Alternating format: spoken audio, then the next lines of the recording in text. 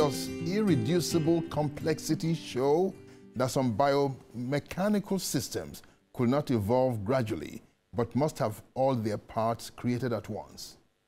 Yes. You see, again, most people are familiar with various natural processes, and let's use photosynthesis as our example. If you remove one component, one event that occurs in the photosynthetic process, it doesn't work.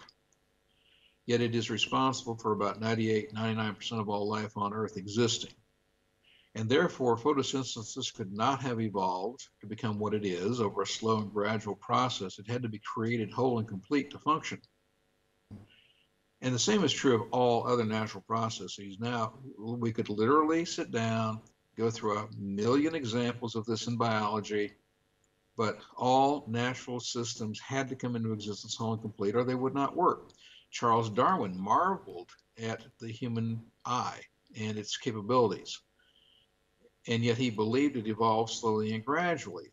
But his critics, even 150 years ago, said, wait a minute, what value would there be to a half evolved eye for a creature to keep it, supposedly add to it, and still have no benefit from it? It would be a waste of resources.